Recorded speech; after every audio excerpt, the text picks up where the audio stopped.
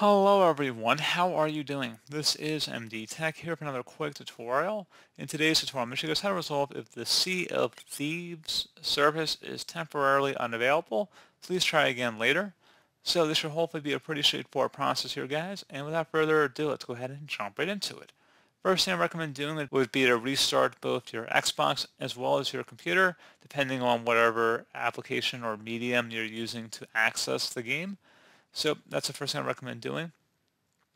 Uh, something else, again, now this is more specific for the computer version of the game, which is largely what this tutorial is based on. You can go ahead and check the status of the servers, in which case I'm going to have a link in the description of my video, guys, so go ahead and navigate over to that. And it's going to tell you what the current status is and if all systems are working as expected, which it should if you're having an issue here, there's really nothing you can do except just wait it out and the issue should resolve itself once they get everything back online. So again, something else I recommend looking into. Also, if you're using a VPN service, you may want to consider disabling that or a proxy server to connect to the internet.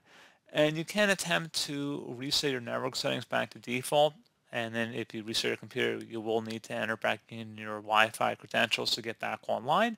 But that is one other thing we can attempt here if you're having issues with other websites as well.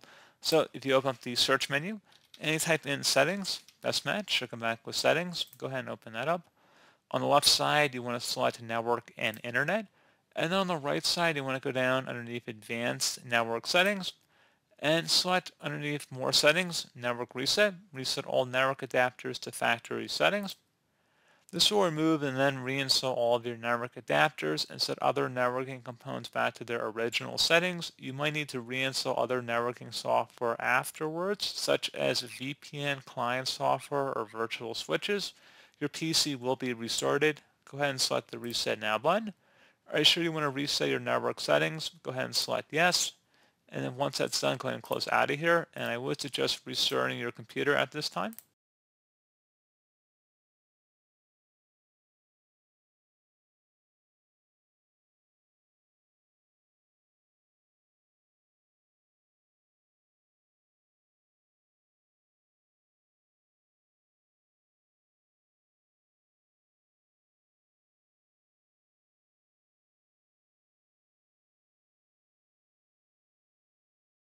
And then hopefully at this point your issue should have been resolved. So as always, thank you guys for watching this brief tutorial. I do hope I was able to help you out, and I do look forward to catching you all in the next tutorial. Goodbye.